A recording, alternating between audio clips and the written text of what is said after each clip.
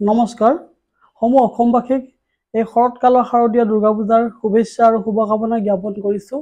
অসমত বসবাস কৰা প্ৰতিটো জীৱৰ মংগলময় হওক আৰু প্ৰতিটো প্ৰাণীৰ সকলোৱে যাতে মা দুৰ্গাই কৃপা কৰে তাৰ ওচৰত ভগৱন্তৰ ওচৰত প্ৰাৰ্থনা জনাইছোঁ। এই শৰৎকালৰ বতৰ আৰু এই শাৰদীয় দুৰ্গা উৎসৱত দুৰ্গা পূজাৰ যি শুভক্ষণত ষষ্ঠী তিথি আৰু এইবেলি দুৰ্গা দেৱী মা দোলাত আগমন হ'ব। আৰু ঘটকত গমন হ'ব। দোলত আগমন হ'লে সদায় মৰকত ভৱেত আৰু ঘটকত যেতিয়া দেৱী গমন হয় তেতিয়াহ'লে ছটভংগ যোগ হয়।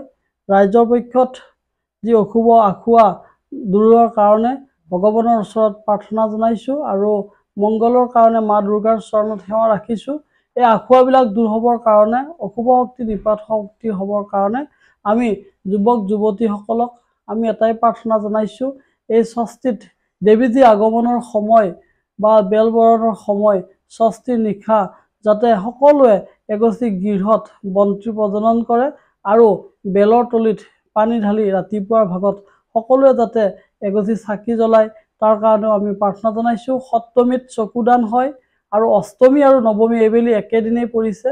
অষ্টমী নৱমী তিথিত সেইদিনাখন সন্ধি পূজা হ'ব। এই সন্ধি পূজাৰ সময়ছোৱা ঠিক ৰাতিপুৱাই পৰা হেতুকে আমি সন্ধি পূজাত এশ আঠগছি চাকি জ্বলালে মনোবাঞ্ছা পূৰ্ণ হয় আৰু প্ৰতিটো ৰাশিত শুভ প্ৰভাৱ পৰে আৰু বন্তিয়ে নিৰপেক্ষভাৱে সদায় পোহৰ দিয়ে আৰু এই বন্তি চাকি গছি আমাক আন্ধাৰ গুচাই পোহৰৰ সন্ধান আনিব আৰু অষ্টমী নৱমীৰ পিছত যি দশমী বিসৰ্জন হ'ব আৰু বিসৰ্জনৰ পিছত দেৱী বিসৰ্জনৰ পিছতেই এইবেলি গমন হ'ব আমাৰ ঘটকত গোটেই গমন হ'লে ছটভংগ যুগ আৰু যান বাহন আদি গাড়ী ঘোঁৰা চলাওঁতে বহুখিনি ৰিষ্ট দেখা যায় আৰু মংগলৰ কাৰক এই যে শক্তি দেৱী দায়নিক সকলোৱে যাতে এই প্ৰাৰ্থনা জনায় আৰু এই সুখে শান্তিয়ে সকলোৱে যাতে বাস কৰিব পাৰে আৰু এই অসুৰ বধ কৰা দেৱী দুৰ্গাৰ যি আগমনে এইবেলি সকলোকে শুভ ফল প্ৰদান কৰিব বুলি আশা কৰিছোঁ।